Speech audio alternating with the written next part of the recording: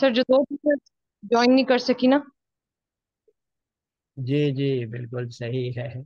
तो बात यही हो रही थी कि पहले हमें इस चीज़ पे जम जाना चाहिए है। ये एक मिनट प्लीज़ हाँ। अस्सलाम शाहीन। मैं अभी सेशन में हूँ। मैं एक सेशन करा रहा हूँ।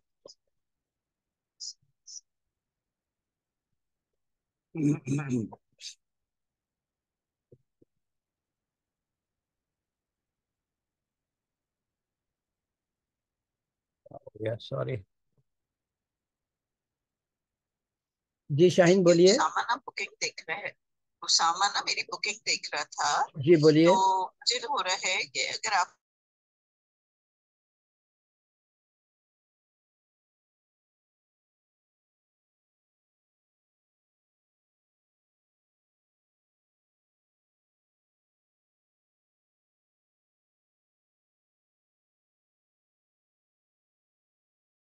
sir please unmute your mic आपकी आवाज़ नहीं आ रही। जी आवाज़ आ रही है आपको? जी जी।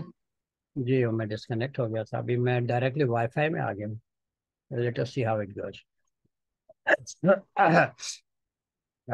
तो हम जब तक टप्पे टप्पे चलेंगे तो आप यानी actually each one of us has to decide कि for whom one has to work and one has to live ठीक है ना? तो ये इस ज़माने में थोड़ा मुश्किल डिसीज़न है, लेकिन उसके सिवा कोई चारा नहीं। अगर आप ये समझते हैं कि अल्लाह के दीन को छोड़ के कोई और दीन पर चलेंगे तो कोई मसला नहीं होगा। वो ऐसी बात है नहीं। अल्लाह की शराइत है कुरान में कि जो अल्लाह को छोड़ के, अल्लाह के दीन को छोड़ के किसी और दीन पे चलेगा तो उससे कबूल नहीं किया जाएगा। पूरे के पूरे जो है, हमें बोला कि इस्लाम में दाखिल हो जाओ। सही है ना? तो देर सर्टन अल्लाह का निज़ाम बहुत ज़बरदस्त है असल में, लेकिन चूँकि we are servicing some one else's system तो हम इस परेशानी में बार बार फंसते हैं।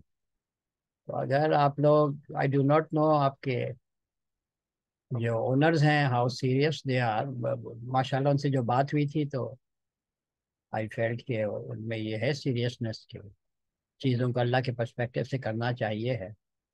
लेकिन एक जो बड़ा इशू मैं स्कूलों में देख रहा हूँ, वो ये है कि उनको ये शिकायत होती है कि जो पेरेंट्स अपने बच्चे को निकाल लेते हैं। तो अब आप ये देख लीजिए कि आपके लिए ज़्यादा इम्पोर्टेंट क्या है कि बच्चे को रिटेन करना? एक ऐसे निज़ाम को जो कि चल रहा है, उसको रिटेन करके या फिर आपको ये तहिया करना पड़ेगा, नहीं, हम तो कोशिश करेंगे कि अल्लाह के निज़ाम को पहचाने और अल्लाह के निज़ाम पे चलेंगे और जिसको आना है आए जिसको नहीं आना नहीं आए। तो मैं तो नहीं समझता कि आपके स्कूल का कोई बड़ा मकसद जो है वो कमर्शियल है कमर्शियल गेन है। इसलिए क्या बता रहे हैं बच्चे भी आपके बहुत कम जी सर। तो ये अच्छा मौका है कि आप लोग जो हैं अल्लाह के निज़ाम को तालीमी निज़ाम पे काम करें तो फिर उसका अजर भी आप लोगों को उसी हिसाब से मिलेगा कि जिन लोगों ने अल्लाह के निज़ाम की इब्तदा की या निज़ाम को जो है वाजे किया। तो सदका जारी भी उस लिहाज से होगा।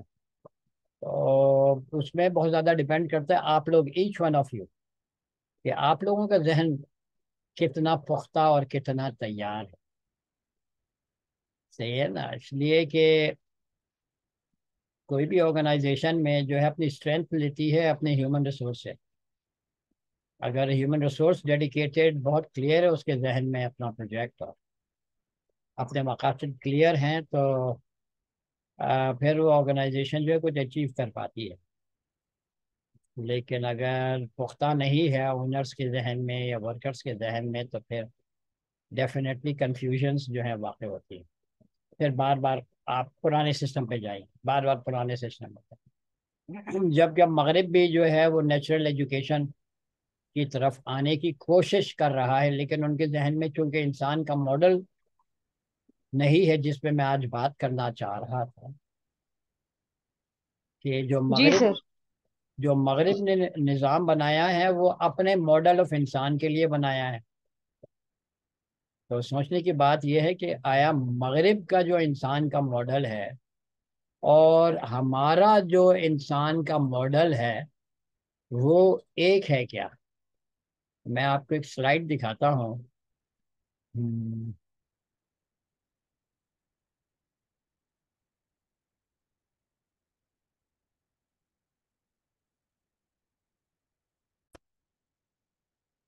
नज़र आ रहा है आपको? जी सर। जी जी सर क्लियर है। अच्छा। एक मिनट।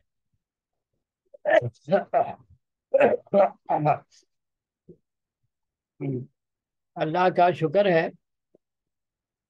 कि मुझे ज़बरदस्ती इकबाल पे डाला गया कुछ लोगों ने। और जो सबसे बड़ी मैंने चीज़ हासिल की है इकबाल में पढ़ने की वजह से वो है इकबाल कुरानिक ह्यूमन मॉडल पेश करता है, जो उसने कुरान से समझा, जो उसने हिस्टोरिकली देखा हजूर वसल्लम के ज़माने ये सबसे बड़ा जो मुझे फ़ायदा हुआ कि वो ह्यूमन मॉडल जो अल्लाह ने अल्लाह की तख्लीक। ठीक है? तो उसी लिहाज से एक उससे मैं पहले आपको बताऊँ कि इकबाल जो है ये आपने आपको स्लाइड नज़र आ रही है। शिकायत है मुझे या रब खुदा बंदान मकतब से। जी शिकायत है मुझे या रब खुदा बंदान मकतब से। सबक शाही बच्चे बच्चों को दे रहे हैं खाकबाजी। खाकबाजी का। इकबाल ये बोल रहे हैं कि ये बच्चे शाहीन के हैं और आप उनको ज़मीन में लौटना सिखा रहे हैं। ये शाहीन है जो अच्छा। जिनकी बहुत ऊँची उड़ान है जिनमें कैपेबिलिटी है बहुत ऊँची उड़ान की। लेकिन आपका जो निज़ाम है या जो मगरब का निज़ाम है जो अभी मैंने इकबाल का शेर पढ़ा था कि काफिर की ये पहचान के ये काफिर की ये पहचान के आफाक में गुम है हम दुनिया में गुम है। हम सिर्फ़ खाकबाजी कर रहे हैं दुनिया के ज़िंदगी हम सब कुछ समझता है मगरब तो यही समझता है ना।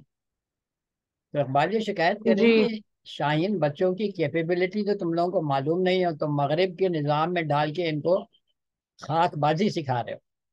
ये शिकायत कर रहा है खुदावंदान मतलब यानी टीचर से और ओनर्स ऑफ़ द स्कूल या ओनर्स ऑफ़ द इंस्टीट्यूशन से। एक और इकबाल का शेर है, जो बहुत इम्पोर्टेंट है। अपनी मिलत पर कयास अकवाम मगरब से न कर, ख़ास है तरकीब में कौम रसूल हम क्या कर रहे हैं? हम तो मगरब से कर रहे हैं ना। अपने, हम समझ रहे हैं कि भाई मगरब इस करेक्ट मगरब के निज़ाम सही है, मगरब का ज़बरदस्त एजुकेशन निज़ाम है। ठीक है, जो उन्होंने अपने लिए तैयार किया, हम भी इससे फ़ायदा उठा सकते हैं। तो हम उनके मॉडल पे मुतमिन हैं और इसी लिहाज से हम चल रहे हैं।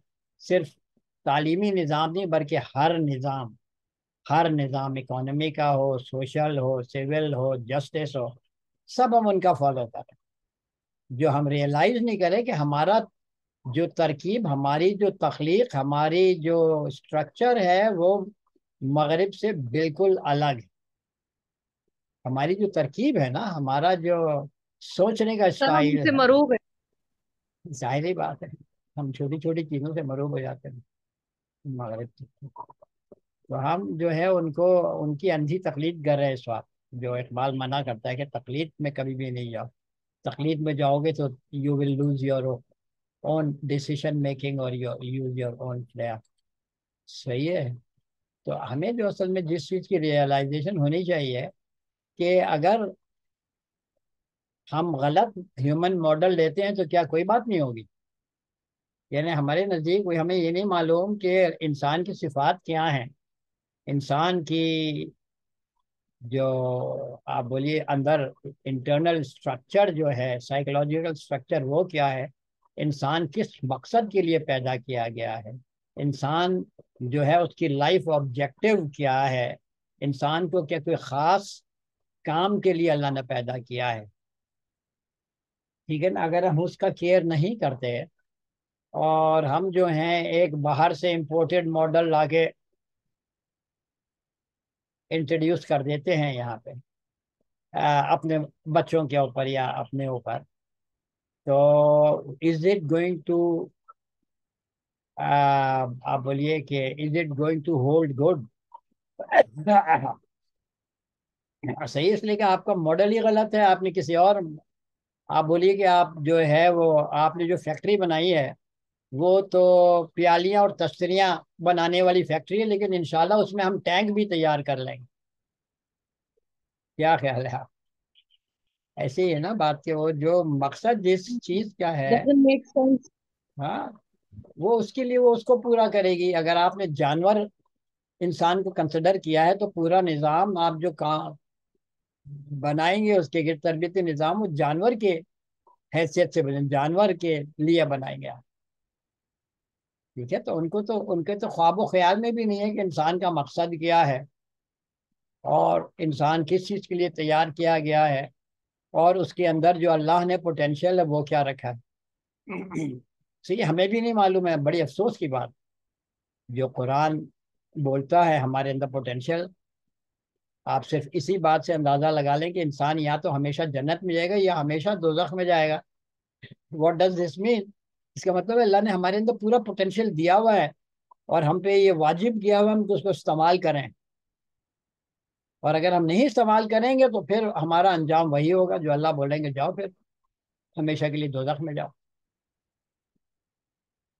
सही है। तो human does human model matter yes that is the most important thing कि आप किसके लिए निज़ाम तैयार कर?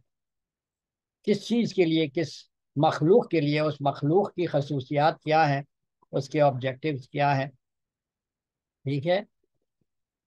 हम हैं क्या असल में? हमें तो ये गौर करना चाहिए कि हम हैं क्या? हम तो कभी सोचते नहीं कि हम हैं क्या। हम तो अल्लाह माफ़ करे, या तो अपने उलेमा के ताबेदार हैं हम, या फिर मगरब के ताबेदार हैं। हमारे उलेमा भी मगरब के निज़ाम फॉलो कर रहे हैं, अपने मदारस में स्कूल खोल रहे हैं, अपने बच्चों को भी स्कूल भेज रहे हैं। यानी उनको भी इस चीज़ का शूर नहीं है। मैं इसलिए नहीं बोल रहा कि वो तो हमने भी भेजा, लेकिन हमने गलती की।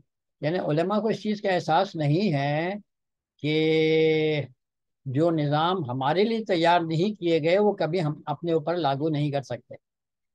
ये तीसरी बात जो है वो, हमें कौन सा ह्यूमन मॉडल फॉलो करना चाहिए या फॉलो कर रहे हैं? क्या हम वो ह्यूमन मॉडल फॉलो करें जो अल्लाह को मकसूद है या वो ह्यूमन मॉडल फॉलो करें जो मगरब को मकसूद है? क्या ख्याल है आप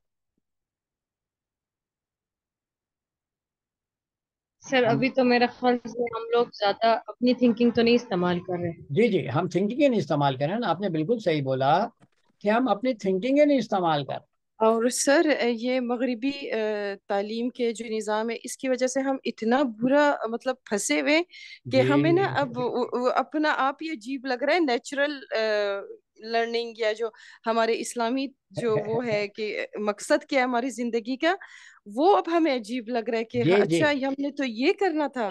ये और बस वो चीज़ में हम इतना फंस गए ना और हमारे बड़े फिर हम अब हम जो चेंज ला रहे अपने बच्चों के लिए तो उस पे सबसे ज़्यादा हमें अपने ऊपर काम करने की वो हो रही है मुश्किल हो रही है और मेहनत ज़्यादा करनी पड़ रही है। देखिए मेरा अपना ये ख्याल है कि आप लोगों को जो मैं थोड़े से सेशंस कराऊं वो हम ह्यूमन मॉडल को डिस्कस करें कि अल्लाह का ह्यूमन मॉडल है क्या। अल्लाह ने बच्चे को कैसा बनाया है इंसान को कैसा बनाया है, उसके अंदर क्या काबिलियतें दी हुई हैं, उसके अंदर अल्लाह ने क्या पोटेंशियल रखा हुआ है। और फिर जब हमारे जहन में ये क्लियर हो जाएगा तो फिर आपको इस चीज़ का एहसास होगा कि हाँ इसको हम कैसे आगे लेके चलें। तो अभी तो हमें, हम पूरा मगरब को फॉलो कर रहे हैं, उनकी जो थ्योरीज हैं, उस पर हम आँख बंद करके अमल कर रहे हैं। जिसका नतीजा ये हो रहा है कि हम आप बोलिए कि बिल्कुल ही खो गए। ना हम इस्लाम के हैं और ना ही हम मगरब के हैं। नाम हम इस्लाम का लेते हैं काम हम मगरब का करते हैं। क्या ख्याल है आपका? मैंने बहुत सख्त बात कर दी है। जी जी नहीं सर बिल्कुल सही सौ फ़ीसद सही। और हम ना बगैर सोचे समझे कर रहे हैं। हमें समझ भी नहीं आ रही कि हम ये कर रहे हैं। एग्जैक्टली एग्जैक्टली exactly, लेकिन ये अल्लाह के सामने चलेगा नहीं हमारा बहाना कि अल्लाह हम तो हमें हमने कभी सोचा ही नहीं। अल्लाह बोलेगा अच्छा तो जा फिर तुम जाके जरा दोजख में सोचते रहो कि क्या होना है तुम्हारे साथ तो वो तो हम में से हर आदमी का असल में मुझे अपना जवाब देना पड़ेगा आप लोगों को अपना अपना जवाब देना पड़ेगा। और अल्लाह हमें जस्टिफाई करने पड़ेंगे अपने तमाम एक्शन लोग परेशान होते हैं कि यह आपने किस मुसीबत में हमें डाल दिया है। मैं सोचता हूँ कि हम इसको, बल्कि इसका अल्लाह का शुक्र अदा करें कि अल्लाह ने हमें मौका दिया है कि हम अपने आप को ठीक कर लें। और अल्लाह ने हमें मौका दिया है कि हम ऐसा सदक़ जारिया कर दें जो हमारे लिए इन आखिरत में काफ़ी होगा। किसी सिस्टम को बनाना बहुत अहम काम है। इस वक्त जो कोई भी नहीं कर रहा, कोई नहीं कर रहा। आप यकीन माने, मैं तो दुनिया के डिफरेंट मैंने देखी हुई हैं। ममालिक और किस पे क्या काम हो रहा है, निज़ामों के लिहाज किसी भी मुल्क में मेजोरिटी मेजोरिटी बिल्कुल जिसको नहीं कहते हम आँख कान बंद करके हम लोग बस ना चलते जा रहे हैं। जी जी जी। हम तो बस अंधी बिल्कुल अंधी हम। तकलीफ़ कर रहे हैं मगरब की और हम बड़े खुश हैं कि मगरब बड़ा ज़बरदस्त निज़ाम दिया उसने लेकिन ये नहीं सोचते कि निज़ाम किसके लिए दिया है? उसके मकासद दिया है। उसकी साइकोलॉजी बिल्कुल फरसुदा है आप यकीन मानिए। मैंने जितना साइकोलॉजी मेरा ख़ास इंटरेस्ट है मगरब की साइकोलॉजी बिल्कुल फरसुदा है। यानी वो पता नहीं उन्होंने किसके लिए तैयार की और कैसे तैयार की। तो वो तो इंसान को जानवर कंसिडर करते हैं और इसी के लिहाज से उन्होंने अपनी साइकोलॉजी की थ्योरीज जो डिफाइन की हैं सभा को ज़्यादा बेहतर मालूम होगा। तो हम तो असल में इस चीज़ पे गौर नहीं कर रहे कि हो क्या रहा है और हम कहाँ चले जा रहे हैं। और हमें भी एक दिन मरना है और अल्लाह का जवाब देना है और अल्लाह को हम क्या जवाब देंगे। तो देखिए, आपको मेरा, हम क्यों ना ऐसा करें कि हम इन ताला जो है इन चीज़ों को डिस्कस करें, इन डेप्थ डिस्कस करें, अपने अपने एक्सपीरियंसेस शेयर करें। ठीक है? और हमारे दिल, दिलों को मुतमिन करने की कोशिश करें कि असल निज़ाम होना क्या चाहिए। जब आप बच्चों की बात करते हैं तो निज़ाम होना क्या चाहिए? जब आप वो मुतमिन हो जाएँगी तो फिर आपका ईमान भी मज़बूत होगा उस लिहाज से और आपके जहन में फिर आइडियाज़ आएँगे कि अच्छा हाँ ये होना चाहिए और ये नहीं होना चाहिए। अब भाई, अगर हम उसको डिस्कस नहीं करते तो आपके बार बार दिल जाएँगे मगरब के निज़ाम की तरफ़ अच्छा नहीं, लेकिन इम्तहान तो होने चाहिए, नहीं, लेकिन ये तो होना चाहिए, नहीं, लेकिन ये तो होना चाहिए, आपके जहन में ये चीज़ हमेशा जो है ना, चक्कर खाता रहे। तो मैं ये समझता हूँ कि थोड़ा सा हम इस पे गौर कर लें कि जो है वो असल असल में जो है और फिर उसको बनाने की कोशिश करनी है तो उसके लिए सर पेशेंस भी चाहिए ना? नहीं मैं एकदम सारे जवाब जी समझ आएँगे। जी जी बिल्कुल सही बोला आपने लेकिन मैं आपको सब एक बात बताऊँ। मैं तो नाइन्टीज से लगा हूँ ना इन चीज़ों को तालीमी निज़ाम के पीछे तकरीबन तीस साल। जो है, हो गया मुझे। और मैं, मैंने इदारे भी कायम किए हैं रिसर्च इंस्टीट्यूट भी मैंने कायम किए हैं, तालीमी रिसर्च इंस्टीट्यूट और टीम्स भी बनाई हैं टीमें भी काम किया है, फिर मुझे अल्लाह ने इस्लामिक यूनिवर्सिटी पीएचडी करने का मौका दिया। ह्यूमन साइकोलॉजी जो है, मेरा बचपन से इंटरेस्ट रहा है। तो मैं बड़ा सोचता था, क्या अच्छा नहीं, ऐसा नहीं ऐसा नहीं। बाद में जो अभी आप बोलिए कि जो फाइनल मेरा कंक्लूजन है कि अल्लाह का निज़ाम नहायत ही आसान है, इसलिए कि वो नेचुरल है, उस पर अल्लाह ने आपको बनाया है तो आपको ज़्यादा मेहनत करनी नहीं पड़ती। आदमी ऑटोमेटिकली यानी जिस तरह आपकी बॉडी बढ़ती है ना, वो खुद ही बढ़ती है, आप खींच खींच तो नहीं बढ़ा रहे होते ना। जब आपकी बॉडी डिमांड करती है कि भाई मुझे बढ़ना है तो आपको भूख लगती है, ताकि वो इंग्रेडिएंट्स जाए। इसी तरह नॉलेज जो है, वो भी सेल्फ ग्रोथ का प्रिंसिपल फॉलो करती है। और वो खुद ही बच्चों के जहनों में सवालात लाती है, जिसके पीछे बच्चे पढ़ते हैं और उनका जवाब ढूंढते हैं। बच्चा कभी जवाब के बगैर मुतमिन नहीं बैठता। आपके जहन में भी कोई सवाल हो जा, आ जाए तो आप भी बेचैन हो जाती। ठीक है ना? तो असल में अल्लाह ने आपको बनाया इस तरह कि आप सेल्फ सफिशिएंट हैं। और उसकी वजह यह है कि आखिरत में आपको अकेले खड़े होकर जवाब देना, आपके पास ये बहाना नहीं होगा। या अल्लाह, मैं तो एक अनपढ़ कौम में पैदा हुई थी। या अल्लाह, मैं तो अमेजोन के जंगल में पैदा हुआ था। या अल्लाह, मैं तो ग्रीनलैंड में पैदा हुई। अल्लाह ने हर एक के अंदर, अल्लाह रब वाली जो है तो हर एक के अंदर अल्लाह ने जो है, इल्म डाल दिया है। उसको कोई बहाना उसके पास नहीं है। और उसी आयत में सुरह की एक सौ बहत्तरवीं, तेरहवीं आयत तेरहवीं आयत में यह है कि मैंने तुम्हें इसलिए बोला है कि तुम ये ना बोलो आखिरत में कि हमें तो मालूम ही नहीं था। या ये बोलो कि भाई, हम बाद में पैदा, हमसे पहले पैदा होने वाले बह गए थे तो हम भी बह गए हैं। तो हर इंसान को अल्लाह ने स्मार्ट बनाया है और उसको जितनी उसकी नॉलेज रिक्वायर्ड है, वो अल्लाह ने हमें दी हुई है। ये सिर्फ़ जो इकबाल बोलते हैं ना सेल्फ रियलाइजेशन उसकी ज़रूरत है। बहर के अभी हम हम देख लेते हैं, थोड़ा वक्त भी हो गया है। इज़ ह्यूमन इंसिडेंटल और वर्सेस क्रिएटेड वो लोग बोलते हैं कि ये एक्सीडेंट से इंसान बन गया। मगर बोलता है एक्सीडेंट हुआ और अमीनो एसिड मिली और ये हुआ और वो हुआ और फिर लाइफ फॉर्म बनी और फिर जो है वो जानवर बने पहले पानी के जानवर बने फिर खुशकी के जानवर और फिर बंदर से इंसान बन गया। एक्सीडेंटल ठीक है? जी। जी सर जो उनकी एवोल्यूशन की थेरी है ना कि पहले वाटर से सारी क्रिएशन हुई थी जी, और जिस तरह आपने बताया आहिस्ता आहिस्ता बतदरीज इंसान वजूद में आया है। लेकिन हम किस चीज़ पे यकीन रखते हैं? हमें अल्लाह ने खास बनाया है और खास शक्ल में बनाया है खास मकसद के लिए। इसमें कोई फ़र्क आपको नज़र आ रहा है इन दो स्टेटमेंट्स में?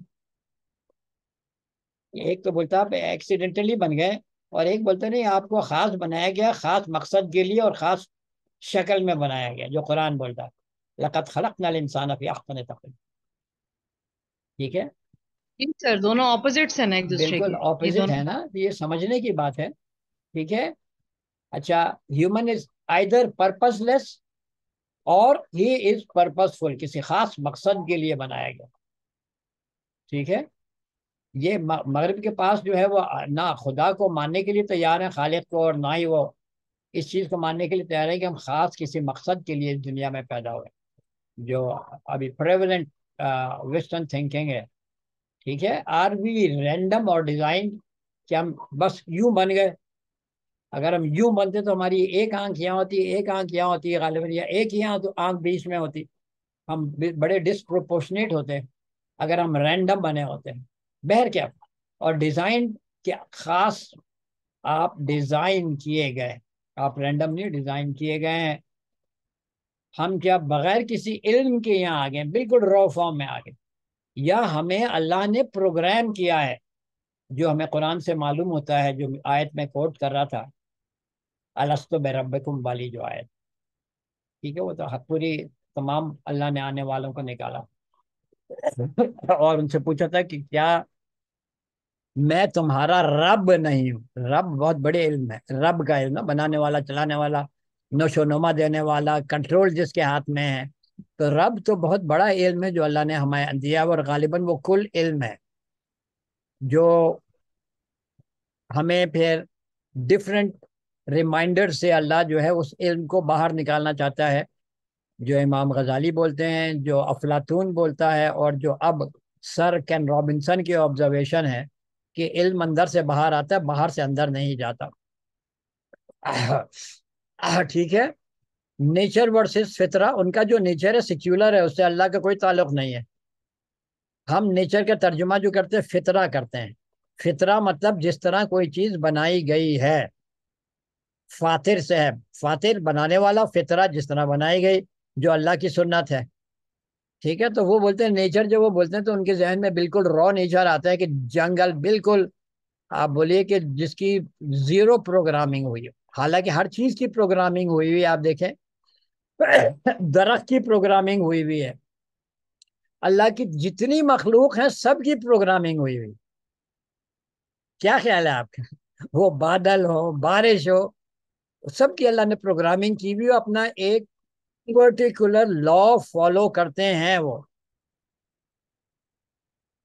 क्या ख्याल है आप लोग कहता है कि ये सब भी बयान करते हैं लेकिन तुम्हें इनकी तस्वीर समझ नहीं आती। जी जी। तो अल्लाह ने तो हर चीज़ को प्रोग्राम किया हुआ है। वो नहीं मानते तो कितना डिफरेंस है कि वो बोलते हैं, इंसान प्रोग्राम नहीं आप बोलते कि इंसान अल्लाह की तरफ़ से प्रोग्राम सही है जब आप बोलेंगे कि अल्लाह की तरफ़ से प्रोग्राम तो अल्लाह ही के अहकाम के मुताबिक उसको लेके चलना पड़ेगा आगे। अगर आप बोलते उसका प्रोग्राम ही नहीं है तो फिर आप इंसान के अहकाम के लिहाज से उसको लेके चलेंगे, जो इस वक्त हो रहा है। एटर्नलिज्म वर्सेस कंसिक्वेंशियल एटर्नलिज्म उनका है कि भाई, ठीक है, आप यूँ कुछ करेंगे तो कुछ होगा, वो करते हैं, लेकिन यानी उनका ये है कि कोई आखिरत में इसकी कॉन्सिक्वेंसेस नहीं निकल रहे कोई अकाउंटेबिलिटी नहीं है। सही है? और हम ये बोलते हैं कि human is one hundred percent accountable for whatever he does over each one of us सही है? तो आप ये देख रहे हैं कि मॉडल में कितना फ़र्क मगरब का मॉडल और हमारा कुरानिक मॉडल इकबाल का जो पूरा फलसफा है वो जो उसने कुरान से इंसान को समझा है और बहुत खूब समझा है इकबाल उसके मुताबिक जो है इकबाल ने हमें वो आ, अपनी तमाम जो उसकी तालीमत हैं वो उस लिहाज से इकबाल ने दी है। इंसान को आप बोलिए कि उस सांचे में डाल के जो है इकबाल ने अपनी तालीमत हमें दी कि इंसान है क्या? ठीक है तो इन ताला मेरा ये ख्याल है कि हम इसको भी लेके चलेंगे इकबाल के लिहाज इकबाल हमें किस तरह डिफाइन करता है और वो किस तरह बोलता है कि इंसान जो है अपने आप को खुद डेवलप करता है। तो बहर कैफ, ये इकबाल बोलता है कि खिरतमंदों से क्या पूछूँ कि मेरी इब्तदा क्या है? कि मैं इस फ़िक्र में रहता हूँ कि मेरी इंतहा क्या है? खिरतमंद यानी इंटेलेक्चुअल्स मैं इंटेलेक्चुअल से क्या पूछूँ? मैं क्यों फ़िक्र में पढ़ूं कि मेरी इब्तदा कैसी हुई है? मैं तो इसी में पढ़ा हुआ दिन रात। मुझे तो फ़िक्र है कि मेरी इंतहा क्या है? इसके दो मायने हैं कि इंतहा क्या है, मुझे कहाँ वापस लौटना है? क्या जवाब देना है? और दूसरा, इंतहा मुझे अल्लाह ने किस इंतहा मेरा जो पोटेंशियल है, वो लामतनाही या कितनी ऊँची उसकी इंतहा अल्लाह रब्बुल इज़्ज़त ने रखी, जो मैं अचीव नहीं कर रहा। आप लोग समझ रहे हैं इसको? खिरतमंदों से क्या पूछूँ कि मेरी इब्तदा क्या है कि मैं इस फ़िक्र में रहता हूँ कि मेरी इंतहा क्या है? इकबाल का हर शेर जो है सुबह अल्लाह ऐसा ज़बरदस्त है और इसके इतने मायने खेज है। फिर उसका जो अगला शेर इकबाल बोलता है जिसमें वो डिफाइन करता है इंसान को खुद ही को कर बुलंद इतना कि हर तकदीर से पहले तो खुदा बंदे से खुद पूछे बता तेरी रजा की सर इसको जरा डिटेल से एक्सप्लेन कर दीजिए please. Ji. Uh, ji sir तो इस जी, वाले शेर पे मैं भी कभी कभी बड़ी कंफ्यूज हो जाती हूँ। जी मैं आपको बताता हूँ। खुदी क्या है? खुदी इज़ अभी जो इकबाल ने पहले बोला है ना कि मेरी इंतहा क्या है? खुद इज़ द रियलाइजेशन कि अल्लाह ने आपके अंदर कितना ज़बरदस्त पोटेंशियल रखा है। अल्लाह ने आपको किस मकसद के लिए पैदा किया है? अल्लाह ने आपके अंदर क्या सिफात रखी और आप क्या क्या कर सकते हैं? आपको अल्लाह ने क्या मुकाम दिया है? मिसाल के तौर पे इंसान अशरफुल मखलूक है कि फरिश्तों, जिनों से भी आला है। अल्लाह के बाद इंसान का नंबर आता। इसी पे जो फरिश्ते परेशान थे कि आप इतनी उसको दे देंगे, इतनी फ्रीडम दे देंगे, ये तो बड़ा गड़बड़ हो जाएगी। अल्लाह ने बोला, नहीं, मैं जो जानता हूँ, तुम नहीं जानते। ठीक है? तो जो अल्लाह ने, आप बोलिए, हमारे अंदर जो सिफात रखी है, हमारा जो मकसद रखा है, हमें जो पोटेंशियल दिया है जब आप वो रियलाइज़ कर लेते हैं तो फिर आपका जो होता है सितारों से आगे जहाँ और भी है अभी इसके इंतहा और भी। फिर आपकी जो मंजिल है ना मंजिल सितारों से आगे हो जाती है। यानी you become so powerful you become so strong कि आप जो है वो अल्लाह के बाद अपना मुकाम ले आते हैं। अल्लाह यानी अल्लाह की सिफात के करीब आपकी सिफात आती हैं तो अल्लाह फिर उस बंदे को ये इख्तियार देता है कि बता, मैं तेरे साथ क्या करूँ। आप समझ रहे हैं कि इंसान जब वो उस स्टेटस में पहुँचता है जो अल्लाह ने उसके लिए मुतयन किया है तो उसको ये हक मिलता है एक तो कि वो फिर अल्लाह को बोले कि अल्लाह, मैं ये चाहता हूँ। सही है, इसके जो है, इसकी आप सिर्फ़ डेप्थ रियलाइज़ कीजिए कि उसके फिर कोई लिमिट्स नहीं होती उसकी मंजिल में। लिमिटलेस उसकी जो परवाज है, वो लिमिटलेस हो जाती है। सही है ना? हम तो इन छोटी छोटी चीज़ों में पड़े हुए हैं और अपने आप को यहाँ पे जाया कर रहे हैं। ना हमें यह मालूम है कि हमारे अंदर पोटेंशियल क्या है? हम इन छोटी छोटी चीज़ों में लड़ने, झगड़ने, छोटी ज़मीन में लौटने में लगे रहते हैं। हमें अल्लाह क्या इख्तियार दिया, देगा कि हम अपने लिए चूज़ करें कि हमें क्या चाहिए।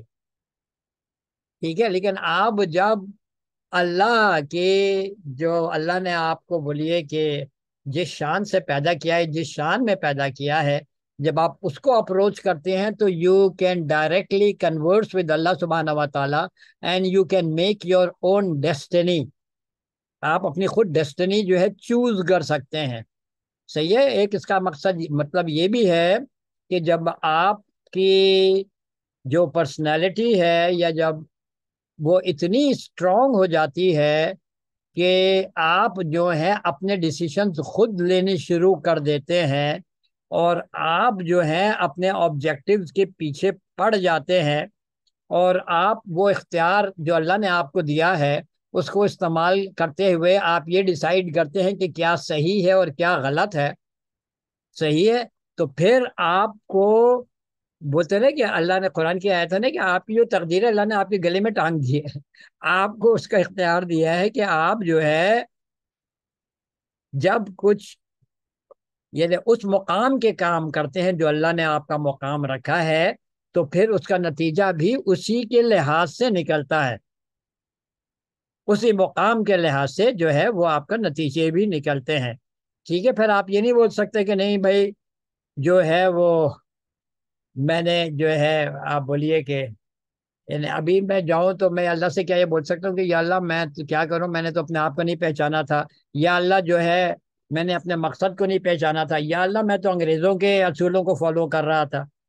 या अल्लाह, मैं तो आप बोलिए कि दुनिया में भटक गया था तो ये हमारे पास कोई इसका एक्सक्यूज नहीं रहता। सही है ना? तो हमें पूरा इख्तियार है कि हम जो चाहे करें और उसी के लिहाज से फिर हमारे नतज निकलेंगे। सही या गलत? और वही आपकी तकदीर है। सिर्फ़ अल्लाह क्या डिसाइड करता है? आप पैदा कहाँ होंगे? किस फैमिली में पैदा होंगे? और आपको मौत कब आएगी? किस जगह पे मौत आएगी? ये अल्लाह डिसाइड करता है। बाकी तो पूरी तकदीर आप खुद बनाते हैं। इस दुनिया में अखबार के बहुत सारे शेर हैं कि जो इस चीज़ को डिपेक्ट करते हैं कि तकदीर तो इंसान खुद बनाता है।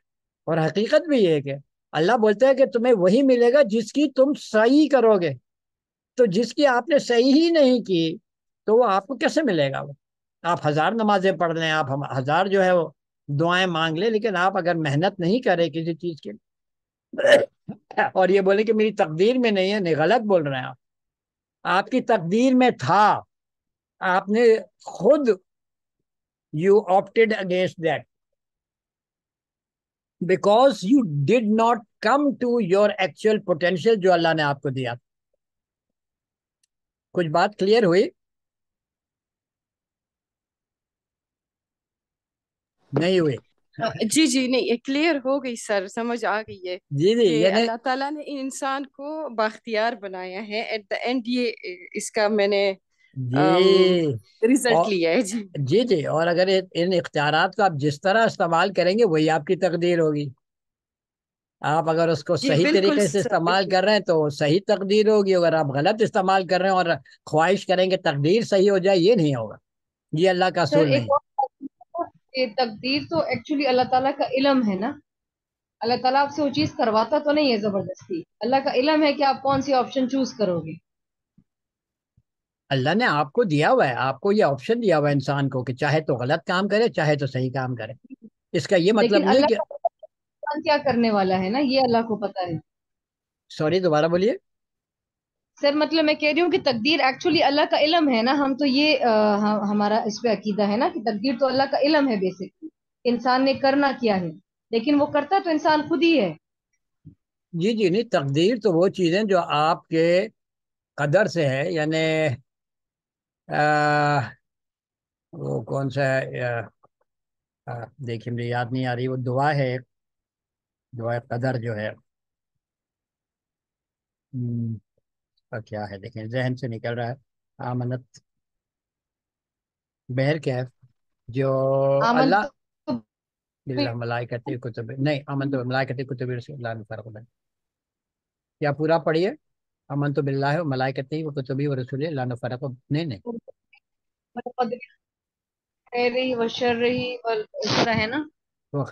है ना? खैर ही व शर ही बैर क्या जी जी। इंसान को अल्लाह ने आज़ादी दी है कि जिस तरह वो डिसाइड करे और रहना चाहे और अमल करे वो उस तरह करे। और उससे पूछ होगी। तो जो ज़्यादातर चीज़ें हैं सवाए आपके पैदा होने के आपकी उम्र कितनी होगी आप कहाँ मरेंगी कहाँ कितनी उम्र में मरेंगी तो वो अल्लाह के हाथ में वो अल्लाह डिसाइड करता है। किस सेक्स में पैदा होंगे किस जेंडर में पैदा होंगे ये अल्लाह की तरफ़ से है। बाकी जितनी चीज़ें हैं जो होना है यानी मैं अपने पाँव पे कुल्हाड़ी मारूं और मारूं के बोलूँ कि भाई मैं जो है मेरा पाँव क्यों जख्मी हो गया तो असल में तो मुझे कुदरत थी कि मैं मारूं तो चाहूँ तो मारूं चाहूँ तो नहीं मारूं। है ना तो वो मिसाल देते हैं ना कि आप जिस शाख में बैठे हो उसी को आप काट रहे हैं। और गिरे तो बोले कि अल्लाह की मर्ज़ी थी। नहीं, आपने शाख खुद ही काटी है। सही है। तो तकदीर की जो ज़्यादातर चीज़ें वो इंसान खुद उसके अमाल पे डिपेंडेंट हैं। कुछ चीज़ें हैं जो अल्लाह के पास हैं, जिसमें आपको कोई नहीं है कि आप कहाँ पैदा होंगे, किस इलाके में पैदा होंगे, किस फैमिली में पैदा होंगे। उम्र आपकी कितनी होगी, हम कहाँ मरेंगे और किस इलाके में मरेंगे। ये चंद चीज़ें जो अल्लाह के हाथ में है, या बाहर से कोई चीज़ हो रही है, या आतिफिश आप फट गया। उसमें आपका कोई नहीं है, दखल। तो बाकी जितनी चीज़ें जो आप पे लागू हो रही डायरेक्टली वो आप ही की अपनी किए हुए आदमी चाहे तो अपने लिए भलाई करे या चाहे तो अपने लिए बुराई करे। सही है ना? तो आप जब उस स्टेटस में पहुँच जाती हैं जो कि अल्लाह को मतलूब है, मंजूर है तो फिर अल्लाह आपकी ज़िंदगी उसी लिहाज से ढाल देता है। ठीक है फिर काम जो है वो आप अल्लाह की रजा समझ जाते हैं अल्लाह के मकासद समझाते हैं फिर काम उसी के मुताबिक हो रहे होते ठीक है ना फिर वो उसकी रजा और अल्लाह की रजा एक हो जाती है। जब वो अल्लाह को पहचानता है इंसान तो उसकी रजा और अल्लाह की रजा जो है फिर वो एक हो जाती है जो है ना कि वो टोटली सबमिट कर देता है ना सर? हाँ खुदा बंदे से खुद पूछे अच्छा हम लोग सबमिशन के गलत मायने लेते हैं हम सबमिट मतलब लेते हैं हाथ पाँव बाँध लें और सबमिट हो जाए। वो सबमिशन नहीं है। सबमिशन है अल्लाह की पूरी तरीके से अतात कबूल कर लेना। ये सबमिशन सबमिशन ये नहीं कि हाथ पाँव बाँध के अल्लाह के सामने चले जाना। जिसको सूफीज़म में बहुत सारे जो सूफी सेक्ट हैं जो इस्तेमाल करते हैं कि अपने आप को बिल्कुल ही अपने आप को इनएक्टिव कर दे। तो हमारे लिए तो असल में पूरा का पूरा इंसारी ये है कि हमने अपने लिए जो है वो आ, क्या चूज़ किया हमने क्या चुना है। तो इंशाल्लाह इस पर फिर बात होगी। मुझे लग रहा है कि थोड़ी सी इसमें तशनगी रहेगी। इकबाल की मैं दूसरे अशार भी पढ़ाऊँगा तो उससे आपको इस चीज़ का अंदाज़ा होगा।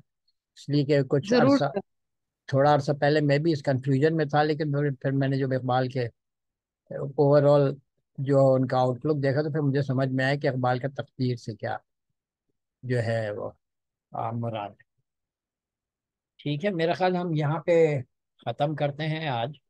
आप लोग सवाल ज़रूर कीजिए। मुझे नहीं मालूम कि मैंने आप लोगों को कितना बोर किया, लेकिन मुझे ये है कि जब तक के बेहतर तो ये होता है कि आप लोग भी सवाल करें जहाँ जहाँ जिस तरह आप लोग कर रहे थे। और जो मुझे थोड़ा बहुत मालूम है, उसकी भी मैं वजाहत करूँ। तो फिर then we can come upon an understanding जो हमें एक दफ़ा थोड़ा सा हम ये अपना ground work ground knowledge develop कर ले then we can go to how to handle the children इनको हैंडल किस तरह किया जाए? या जो हम लर्निंग फैसिलिटेशन सेंटर की बात कर रहे हैं वो होना क्या चाहिए? फ़ंक्शन जे जे हाउ विल दैट फ़ंक्शन तो ये जो है प्रोबेबली ये ऑर्डर ठीक रहेगा। पहले हम अपना बेसिस समझ लें तो फिर इंशाल्लाह एलएफसी के ऊपर हम जाए ना। जी जी जी जी। मेरा ये ख्याल है कि हम थोड़ा सा हमें वो करना पड़ेगा। आप चाहें तो महीने में दो सेशन भी रख सकते हैं और चाहें तो आप बेशक एक सेशन रखें। आपने पहले भी कहा था कि फोर्ट नाइटली रख लें फिर जरा वेकेशन थी तो मैंने बीच में इसलिए वो चीज़ की नहीं मैंने ना। तो अब होपफुली अब जैसे जैसे दोबारा से खुल जाएगा तो फिर आपस में टीचर साथ डिस्कशन कर लेंगे। सर ये टीचर्स तो बल्कि कह रही थी कि हर वीक सर के साथ सेशन होना चाहिए। शुरू में मतलब जब आप जी सर क्योंकि अभी हम खुद इस चीज़ को खुद सीख रहे हैं ना अभी हमें खुद बीच में हम ना बिल्कुल वो हो जाते शौक हो जाते कि आगे अब हमने क्या करना है। जी जी तो वो चीज़ हमें भी पहले क्लियर हो जाए अब आप जैसे मैं आपको बता रही हम उस पिछले वाले निज़ाम में इतनी बुरी तरह फंसे हुए कि इसमें आने में हमें बहुत टाइम लग रहा है। तो ये हर वीक अगर हमारा सेशन हो तो बहुत हेल्पफुल रहेगा। जी मेरी तरफ़ से कोई वो नहीं है आप लोग एक दिन सेट कर सकते हैं इनशाला वी कैन अनलेस की कोई मजबूरी हो आप लोगों की तरफ़ से मेरी तरफ़ तो we can go for that और मुझे मैं अल्लाह का शुक्र अदा करता हूँ कि वो मुझे ऐसे अफराद दे रहा है जो समझने में इंटरेस्टेड हैं लोग तो। असल में इतने मगन हैं कि कर सकते हैं टीचर से डिस्कस कर लेंगे। हम फिजिकली मंडे को सर तो फिर इंशाल्लाह देख जी जो भी फ्रिक्वेंसी रखना चाहें आप ये वेकेशंस खत्म हो जाए ना तो इसके बाद फिर हम रेगुलर अपना पर वीक एक दिन मतलब इस तरह से होगा ना कि सर के साथ फिर सेशन रखेंगे एक घंटे या दो घंटे जो भी है। वेकेशंस की वजह से थोड़ी प्रॉब्लम हो रही है ना तो एक दफ़ा बस वो हो जाए रूटीन में आ जाए इनशाला जी मैं दो बातें आप लोगों से बोलना चाहूँगा। एक दो जो हमने बात की है उस पर थोड़ा गौर वोस कीजिएगा। बाकी जहाँ छोटे बच्चों को आपको मौका मिलता है उनको ऑब्ज़र्व कीजिए कि वो सीखते किस तरह हाउ डू चिल्ड्रन लर्न कि डिफरेंट चीज़ों को डिफरेंट हरकतों को डिफरेंट कैपेसिटीज को। आप बड़ी बड़े बहुत सी सभा जो मेरा अभी मेरा छोटा बेटा है वह था अब्दुल्ला मलेशिया से। उसका एक बेटा है एक साल तीन चार महीने का है। तो उसकी वालदा ने उसकी वालदा भी जो है वो एम एस करी है साइकोलॉजी में। इंटरनेशनल इस्लामिक यूनिवर्सिटी मलेशिया से तो उसकी वालदा ने जो है ना बच्चे को साइन लैंग्वेज सिखा दी। वो मुँह से तो नहीं बोल सकता लेकिन जब उसको दर्द होता है ना तो यूँ करता है वो बताता है कि ये उसको दर्द हो रहा है। मसाल के तौर पे सर बच्चे की एज क्या है? आपने क्या बताया? अभी एक हाँ, साल एक साल पाँच छह महीने है मेरा ख्याल छह सात महीने। अच्छा यानी अभी वो बोल नहीं सकता लेकिन वो अपना मैसेज इस तरह साइन लैंग्वेज के ज़रिए देता है। वो मैसेज बहुत बहुत ही प्रॉपर तरीके से कन्वे करता है। साइन लैंग्वेज इसका मतलब पूरी सेंस है उसमें। लेकिन वो बोल नहीं सकता। तो वो यूँ दर्द शो करता है ना इन्हें अगर दांत में दर्द जैसे हमने अब यहाँ के काफ़ी तीन चार दिन पाँच दिन बीमार रहा बुखार रहा उसको आए हम परेशान रहे। तो फिर मेरी जो है बहू उसने उसके यूँ पे डाला हाथ उंगली डाली तो उस बच्चे ने फ़ौरन यूँ किया। कि हाँ यहाँ पे दर्द तो माशाल्लाह सुभान अल्लाह सर तो, देखिए एक छोटा बच्चा इतना समझ रहा है कि माँ को मैसेज देना है कि हाँ यहाँ पे ये तकलीफ़ माशाल्लाह। हमें फिर ये बच्चों में लर्निंग एबिलिटी पैदाइश से ही होती है लेकिन जी। बिल्कुल आप गौर नहीं कर रहे होते तो उससे फिर हमें मालूम हुआ कि अच्छा ये दांत का मसला है नहीं तो हम पता नहीं कभी कोई बोल रहा ये है कोई बोल रहा वो हो गया उसको वो हो गया कोई बोल रहा उसको वो जो मच्छर काटने की मलेरिया नहीं डेंगी हो गया।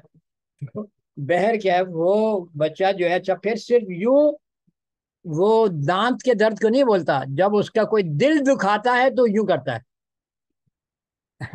माशाल्लाह सर हम इतना एकदम can you imagine can you imagine के दिल कोई दुखाता है उसको कोई उसकी मर्ज़ी के खिलाफ बात हो जाए तो यूँ करता है। कि मेरे दिल में दुख हो रहा है। अल्लाह ही बेहतर जानता है। चले ठीक है। हम आज का सेशन ख़त्म करते हैं। दुआ के साथ कि अल्लाह हमें इस्तकामत दे और हमारे जहनों को खुला रखे। देखिए हरफ आखिर तो कोई भी नहीं है ना। लेकिन यह कि हमें जो। है दीन के लिहाज से सोचना चाहिए आखिरत के लिहाज से सोचना चाहिए अल्लाह के निज़ाम के लिहाज से सोचना चाहिए। अगर हम नहीं सोचेंगे तो हम भी फंस जाएँगे दूसरों के तक तो अल्लाह जो है हमारे लिए चीज़ें भी आसान करे और हमें हमारा रास्ता हमारे क्लियर करे हमारे लिए नूर अल्लाह जो है मुहैया करे कि हम चीज़ों को बेहतर तरीके से देख सकें। मैं आपसे इजाज़त चाहूँगा मैं मीटिंग को क्लोज कर रहा हूँ। मैं इंशाल्लाह फिर इसके शेयर कर दूँगा इसके रिकॉर्डिंग आपके पास बहुत शुक्रिया सर अल्लाह ताला आपको सेहत ज़िंदगी दे। आमीन आमीन। दुआ में याद है अस्सलाम वालेकुम व रहमतुल्लाहि व बरकातहू।